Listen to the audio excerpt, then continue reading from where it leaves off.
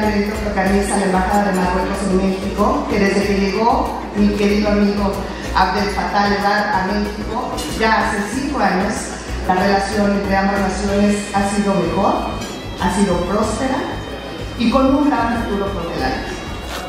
Estamos llenos de optimismo y entusiasmo que esta nueva era estará marcada por una colaboración aún más estrecha y dinámica, abriendo nuevas oportunidades de cooperación y desarrollo para ambos países.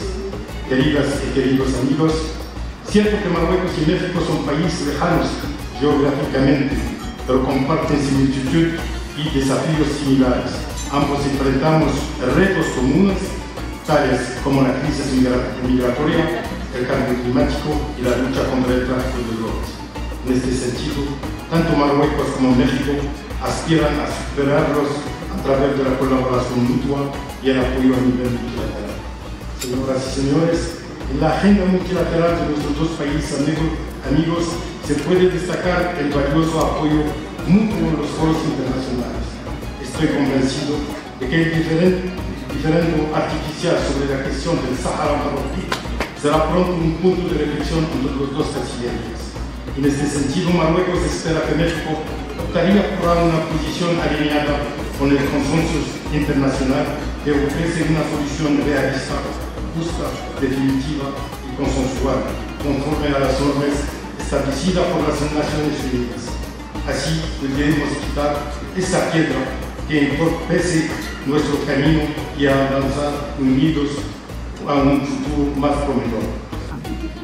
Marruecos es la puerta al Magreb y el punto más occidental del mundo árabe, así como un acceso privilegiado al continente africano. México, por su parte, tiene una posición clave en el hemisferio americano al ser una bisagra entre América Latina y Norteamérica y por ende un hilo conductor norte-sur, así como un puente entre los países ubicados a la vera del Atlántico y aquellos que lo están en el Pacífico. De ahí la interacción comercial de carácter multinacional de ambos países.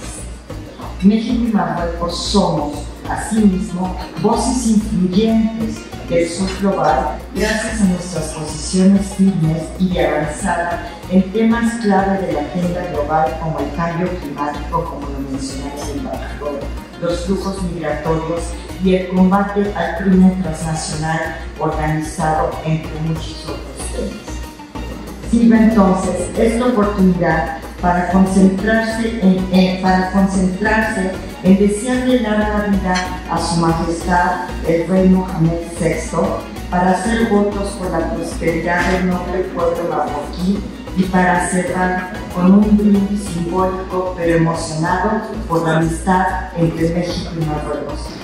Hoy es cumpleaños del embajador.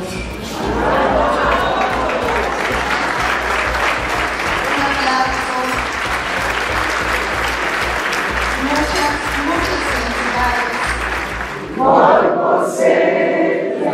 De años de las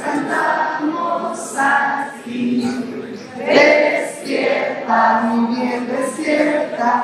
Mira que ya amaneció. Ya los pajarillos cantan la